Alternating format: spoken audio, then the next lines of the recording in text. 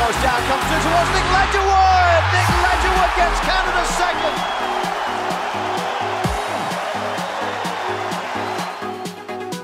Is, you know, have a clean sheet and, and score goals. Um, on the other side of it, I think we could have punished them a lot worse.